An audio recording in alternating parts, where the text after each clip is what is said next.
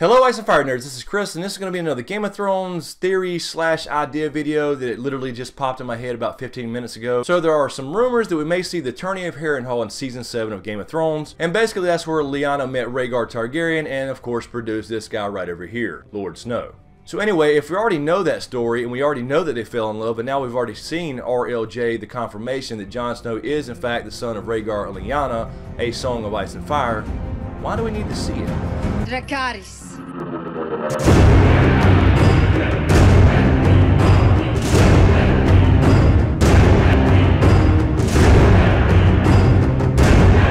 Alright guys, so I'm not going to go over the Tourney of Harrenhal in depth. I will give a quick overview because there are a million videos about what the Tourney of Harrenhal was, what happened. We had, you know, Rhaegar and Lyanna there. We had him giving the crown of blue winter roses to Lyanna over his wife, Elia Martell. We had, of course, Howland Reed getting his ass beat. And then, of course, that led to the Knight of the Laughing Tree, most likely being Lyanna Stark. But the point being is, we kind of already know all that. Book readers know a lot more detail about it. It goes into a lot of things on how potentially Rhaegar met Lyanna and fell in love with her and vice versa. And even on the show, it's been mentioned plenty of times. It's kind of the backstory to Robert's Rebellion on how Lyanna and Rhaegar fell in love in the first place. It was mentioned by Jojen to Bran on the way to see Bloodraven, and he was surprised that Bran had never heard the story. And of course, we got a little bit of the story with Littlefinger and Sansa in the Crypts of Winterfell, where Sansa basically said, yeah, Rhaegar chose my aunt, but then he kidnapped her and he raped her, and Littlefinger looked at her like, not exactly. So anyway, the point being is we know the result of said union between Rhaegar and Lyanna, then why do we need to actually see it in the show? Is it just to show Rhaegar Targaryen? Now, I personally have a feeling we'll probably see Rhaegar Targaryen in some flashback in some way, shape, or form because he has been talked up so much. But again, on the TV show at least, why do we need to see that on screen if we already basically know the outcome? They met,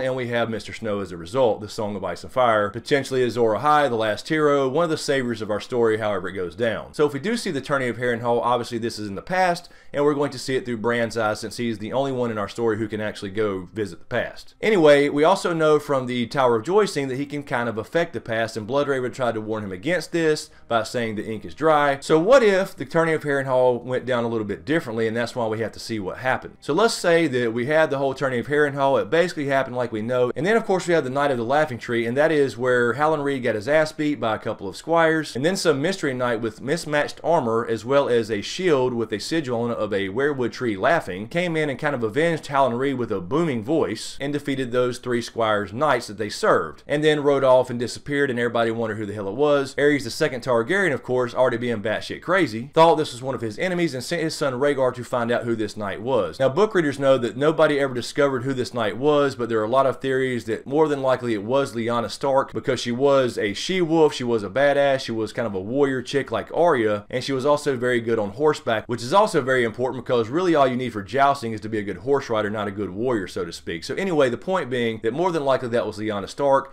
Rhaegar probably found out about it, didn't tell his father, and that's when he fell in love with her and vice versa. Yada yada yada, we have Jon Snow. But what if that didn't go down exactly like that and Bran goes back to a vision in season 7 and sees the tourney of Harrenhal, and sees the Knight of the Laughing Tree perhaps, sees Aerys send his son Rhaegar to go find out who the hell it was, and Rhaegar couldn't find out who it was, he just found the armor perhaps or whatever. Bran realizes, you know what, Jon's important to our story here, Jon is potentially the savior of the world, so what if Bran kind of went and affected the past just a little bit to make sure Rhaegar found out that was Lyanna. Therefore, he finds Lyanna, they fall in love, and later, of course, when he won the tournament, unseating Sir Barristan Selmy, he actually gives the crown of roses to Lyanna Stark instead of his wife Elia Martell. So in a sense, basically, Bran is ensuring that Jon Snow is born. To me, that's the only reason we really need to see this story visually on the show because the show, again, simplifies things. We have a lot of stuff from the books cut out, obviously, but if we're going to see this flashback in the show, I don't think it's going to be just to see Lyanna and Rhaegar's love story. We already have an idea that's what happened.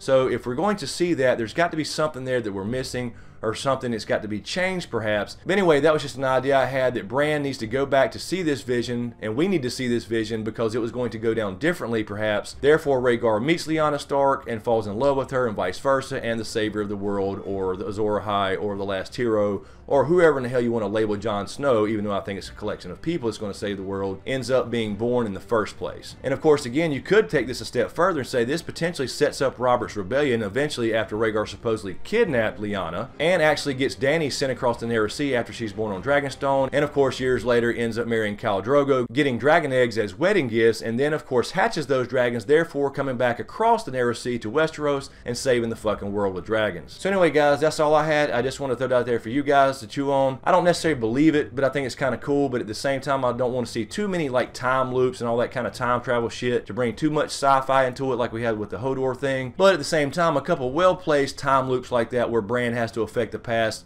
could be kind of cool, but just not overdone. Anyway, guys, let me know what you think in the comments below. What did Bran do? Did he cause Rhaegar and Lyanna to get together to ensure Jon's birth and therefore set up Robert's Rebellion in the first place and then therefore make sure that dragons came back to the world via Dany? I mean, that's a long stretch, but I think it's kind of cool to think about. Anyway, let me know what you think in the comments below. As usual, thank you for all the support. I really, really appreciate it. Be sure to subscribe to get everything. Thanks for watching, and we'll see you next time.